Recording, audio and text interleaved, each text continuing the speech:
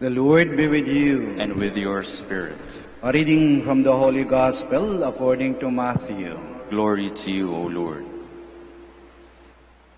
As Jesus passed by, he saw a man named Matthew sitting at the customs post, and he said to him, Follow me. And he got up and followed him. While he was at table in his house, many tax collectors and sinners came and sat with Jesus and his disciples. The Pharisees saw this and said to his disciples, Why does your teacher eat with tax collectors and sinners? He heard this and said, Those who are well do not need a physician, but the sick do. Go and learn the meaning of the words, I desire mercy, not sacrifice. I did not come to call the righteous, but sinners. The Gospel of the Lord. Praise to you, Lord Jesus Christ. Please be seated. Kung saan ka nadapa, doon ka babangon. Si San Mateo, hindi lang siya nadapa, napasubasog, nalugmok sa kasalanan. Kasi isa siyang maniningil ng buwis. At noon pa man, ang mga maniningil ng buwis ay talamak sa pandaraya at pagsisinungaling. Ngunit dahil sa awa ng Diyos, dahil sa pagmamahal ng Diyos, si San Mateo ay nagbago. Naging apostol, naging alagad siya ng Diyos, at naging ibanghelista, manunulat ng mabuting balita. Kung saan siya nadapa, doon siya bumangon. At ang mga bagay na naging kasangkapan sa kanyang pagbagsak, yun din ang kanyang ginamit upang siya ay makaahon. Una, ang kanyang pluma, ang kanyang lapis, ang kanyang panulat na dati ginagamit niya sa pandaraya, sa pagpalit ng mga numero, sa pag-iba ng mga resibo. Ngayon, ginamit niya upang isulat ang mabuting balita.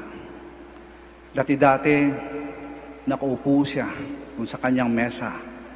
Lagi nakagbukas yung drawer. At doon, maglalagay ng suhol, ng patong, ng padulas. Ngayon, ginagamit niya na yung mesang yon upang mula doon, iabot niya ang tulong at ayuda sa mga nangangailangan. Dati-dati, ang bibig niya, ginagamit niya upang magsinungaling. Ngayon, ginagamit na niya upang ipahayag ang katotohanan ng salita ng Diyos. Kung saan sa nadapa, doon siya bumangon. At tulad din natin, maraming pagkakataon ding tayo ay nadapa at nakabangon din tayo. At kung lingunin natin siguro, yung mga dahilan kung bakit tayo nadapa, yun din ang naging kasangkapan upang tayo ay makabangon.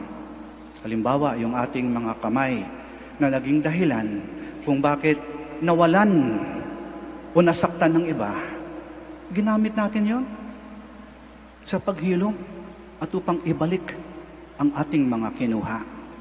Yung ating mga bibig na may nagamit natin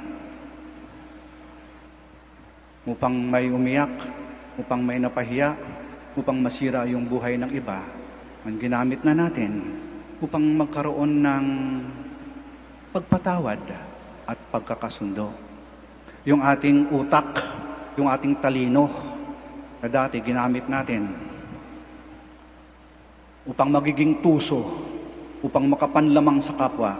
Ngayon, ginamit natin upang akayin ng iba sa liwanag ng katotohanan at ng kabutihan. At ang ating mga puso, nakalimitan, yun ang dahilan kung bakit tayo nadadapa, dahil tayo ay nagmahal ng mali. Ngayon, ginagamit na natin upang magmahal ng tama. Kung saan tayo nadapa, doon tayo babangon. Tayo ay nadadapa Dahil tayo ay naging mahina. Ngunit kung saan ka mahina, naroon ng Diyos upang tulungan, tulungan ka. Anong sabi ni San Pablo? It is when I am weak that I become strong because God is there to help me. Where sin abounds, grace abounds all the more. Kaya kung saan tayo nadadapa, naroroon ng Panginoon, naghihintay upang tulungan tayo, upang iahon tayo. Hilingin natin sa ating Panginoon at sa ating mahal na ina. Panginoon, mahal na ina, tulungan mo kami. Turuan mo kami na mula sa aming masama pangit na mga nakaraan, iabot namin ng iyong makamay sa iyo. Ang iyong makamay na kay tagal nang naghihintay, hawakan namin ng mahigpit at hilain mo kami pataas upang kung saan kami nadapa, doon kami babangon.